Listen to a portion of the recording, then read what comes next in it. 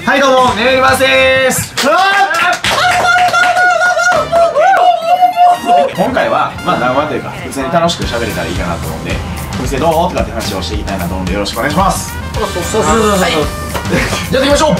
ゴーホストクラブ激戦地大阪南で店売り1億1000万オーバー。行列ができる超人気店ネオユニバース。今年120坪にも及ぶ超拡大移転も控える勢いある同店に入店直後からひときわ輝かしい成績を残すスーパールーキーがいる。コナン。アラン。彼らスーパールーキーの2人に加えて日頃から彼らが特に慕っている天塚流星主任。ケンシロウ総支配人の4人がシーシャバーでチルしながら。スーパールーキーである2人の魅力に迫る。一同が訪れたのは大阪南に店舗を構えるシーシャバーぷくぷく。ということでチルトーク開始。えでもほんま二人とも今そもそも完璧にいいホストになってるわけやんか。そうですでも家庭が違うけどやっぱ面白い。よだってもうこの若手2人ってもうダントツ今ネオでそうやね。もう絶対伸びしろナンバーワン。ほんまそうですよね。ネオユニバースって言ったらすごいもういっぱい出てるんで、まあ、あの画像とか見てもらったら分かるんですけどかっこいい人が圧倒的に多いお店なんですけどパネル指名とか言ってその40人ぐらい在籍の中で1位に取る人なんで。いいな。確かやっぱでも恋愛に来て前のお店の人とかもたまに会うじゃないですか。街中とかで。雰囲気がほんまネオユニや立ちそれ嬉しいな。でもねそう雰囲気がネオユニ雰囲気がネオユニっていうのはちょっとでも雰囲気だけでなんか前と自分は変わってないですけどなんか落ち着いたなみたいいや言われるんやろな。だからいろんな人と触れ合うからさ、なそれでめっちゃ変わったんかなと思って。うんうんいいよね。でもそそうやって言ってくださる人もすごい魅力出たいと思うけどね。まあ嬉しいね嬉しい。ですでネオユニやからこそっていうのあるっすよやっぱりネオユニやからこそまあなんかこういう会もね。めっちゃ2回言うやん。あ大事大事大事な大事なことやって帰りました確かにうんネオの人間がみんないい子が多いからやっぱ変なやつって浮くじゃないですかいい意味で絶対染まってみんな仕事にまっすぐじゃないですか。まっすぐです。だからそこで真面目になると思ったんです。あなんかじゃあ自分なりにもそれがあって切り替える切り替えたなと思ってないそうそこでもう変わったっす。ああなるほどね。気持ちが。コナンもめっちゃ変わったし。でもそれで言ったら流星も変わってるはずやね2人と出会ってからすごいあの入りやすい感じになったりとか流星ちょっとどっちかっていうとちょっとこわもてというかな甘いマスクでしょこれ誰が室内でサングラス売れてる有名なホストやからこの流れですこう聞いた方がいいんかな。喋っていいんかなっていう人多いけどやっぱアランとかコナンが可愛くさこうバーって寄ってるの見たらやっぱ私から入ったらこうもう流星と喋っていいそう思えないってなってるもんそれはあるかもそうそうそうそうだから2人の出会いがきっかけで流星の見え方もみんなとは違うケンシロウさんから見て初め怖かったですか俺は全然全くあよかったです俺は別にみんな大好きやしその怖がらへんっていうかうちに入店してくれる子全員好きやからそもそも。カットしておいてください。なんで？俺の大学勝ってそんな。絶対勝って絶対勝つしょ絶対勝つ絶対ここまで使われるじゃあもういろいろもう過去の話と聞いて、まあ、今のキャラの感じは聞いたけど現状の今の仕事はどうなんというか例えば前のは前のお店で働いた時の感覚と今実際働いてあ全然こんなにも変わったんだとかも多分あると思うしいやありまくりっすね。あ今クリなんや。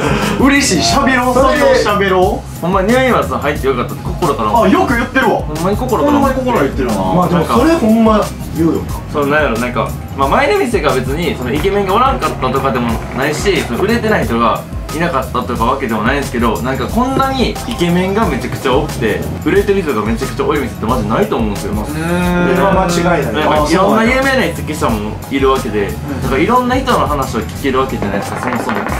それが僕からしたらめちゃくちゃ嬉しくて。あ僕なんて流星さんばかりに聞いてるわけでもなくて、うん。もう一人小春椿さんっていう先輩があるんですけどもう流星さんを超えてくるぐらい最近僕はもう大好きおいおいおい 最後のカットでいいけどな。さっきのカットあちなみにあの一番初めイケメンって言われてたんですけどあのあの椿君が一番イケメンらしいです。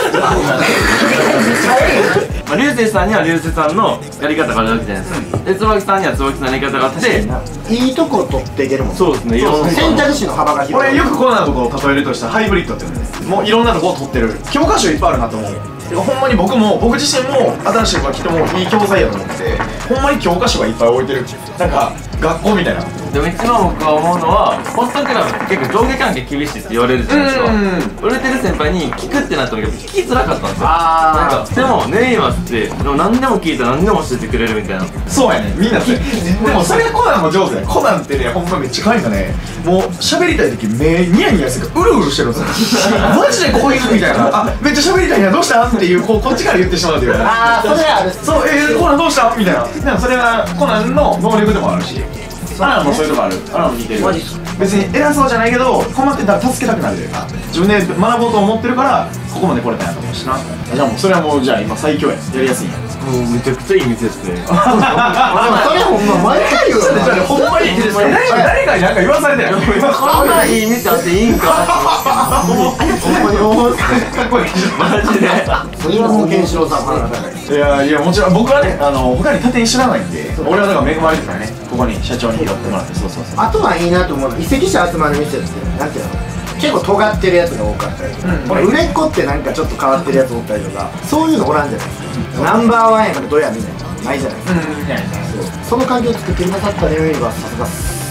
それは言わされてます。言わされてます。まあ気持ちはな。それはこう俺一番みたいな絶対男としてはおるから。まあなんか僕がこの会社でいつもすごいなと思うのが人モラル的にこう飛んでる人が多いというかモラルがすごいある人が多くていや間違いない。俺ホストクラブってほんまに人非非人道的というか。いやわかります。だからまあ超まあ言い方悪くしたら社会的合そう。やと思ってたんやけどほんまにうちの会社は社会人経験者がもともと多くてすごい人をリスペクトできるとこもあってすごいそれが、まあ、社長一番トップの社長がそれをしてくれててやっぱみんなのことを大事にしてる社長を見たら俺らも大事にしたんだ俺俺らも社長が大事にしてもらってるから。社長で言ったら社長も売り上げで姿見せて社長なんか調子乗ってるとこは見たことないよナンバーワンでどうやったとしても次の次も行かれる可能性がある環境じゃないですか。みんなのレベルが高いからこそやなと思うんで、うんだからナンバーワンとってもどやれへん理由っていうのは分かるあーかななるほどね。とだってもう圧倒的ナンバーワンの数字を叩いとったとしたら多分僕も結構生きっちゃうかもしれないですけど、う。んやっぱり生生きっちゃうかもしれないですけど、うん。やっぱり周りの数字がもういつでも負けるかなと思う,、思うんでやっぱそれをみんながこう売り上げがみんなが上がってるからこそできるんで、うん。なんかそれ言うたら他はなんかシステム的な変更なんかそのき違ういいとかある？初回どこ初回で案内されてきたとかじゃなくて普通にあの誰目的で来たっていう女の子が多いっすねあそれ一番は多い。ですね最近あるやん。あらも。う確かに。最近がめっちゃ嬉しいなもうピクドクラブ見てますとか。そうそうそう。